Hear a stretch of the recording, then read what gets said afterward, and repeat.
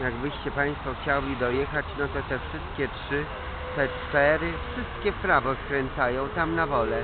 Gdzie nas jeszcze dzisiaj nie było i 523 i 154 i tam jeszcze inne. Proszę Państwa, no to tam jeszcze, ale to też tylko rano tych mormonów byście spotkali w białych koszulkach. A tak na lotnisku, jak dzisiaj byliśmy, to cała ta biedna Polska przez nas, proszę Państwa, była widziana i ci pracownicy, którzy nawet nie mieli na bilet na 148, żeby dojechać, proszę Państwa, na Ursynów, tam z tej pracy, którzy na tym lotnisku te kołki przedstawiają, te, te słupki, czy może jako stewardeska, czy może jako stewardess, no jako poprawiacze.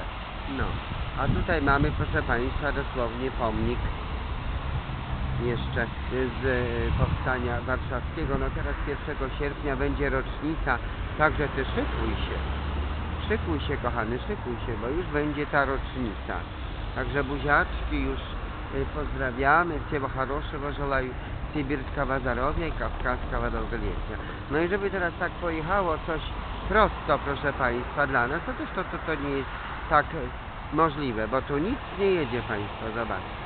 Taka jest Polska. Wszystko skręca i każdy tramwaj, każdy autobus. Ale zapraszamy Państwa do Angloameryki Białystok, to Państwo zobaczycie. Jak tam jest. Ja tam kiedyś byłam 2-3 lata, to nie było kontroli przez te 2-3 lata.